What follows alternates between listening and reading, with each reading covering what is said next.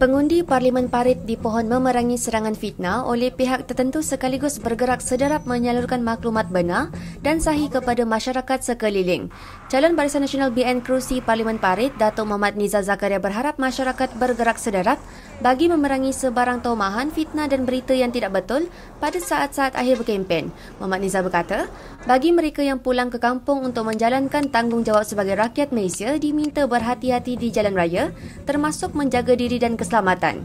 Di samping itu, beliau juga menasihatkan jentera parti meneruskan semangat untuk terus bekerja dan membawa kelangsungan pembangunan kejayaan dan kemakmuran. Saya yakin dan percaya masyarakat, rakyat, setiap lapisan masyarakat eh, uh, telah pun uh, tahu uh, bagaimana peranan wakil rakyat uh, daripada Barisan Nasional uh, bekerja membantu mencari ruang dan peluang untuk kita bawa betul-betul pembangunan uh, infrastruktur termasuklah kita uh, membina betul-betul uh, modal insan yang ada di dalam uh, kawasan kita ini.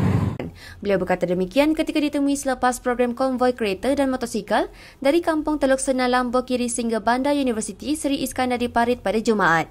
Sementara itu, Jalan Kerusi BN Dewan Undangan Negeri Dun Bota, Khairul Syarif Muhammad juga mengingatkan seluruh pengundi di Bota supaya menolak perkara yang tidak betul daripada segi persepsi dan fitnah. Saya mengharap kepada semua pengundi di P069 dan N39 Belajar supaya memberi fokus kepada perkara-perkara yang akan Uh, disebarkan oleh pihak tertentu.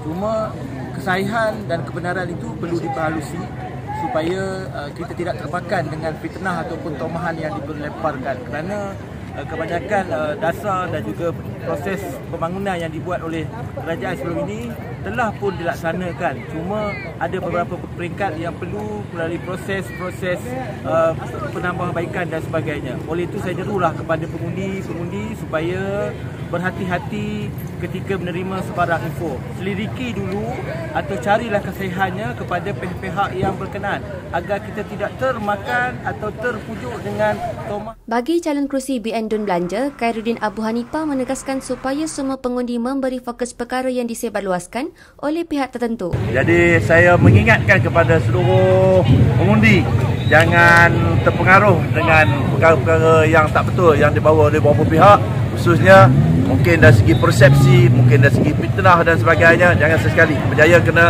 ke, kerana ianya sesuatu yang satu pendekatan yang tak baik untuk politik yang matang ini.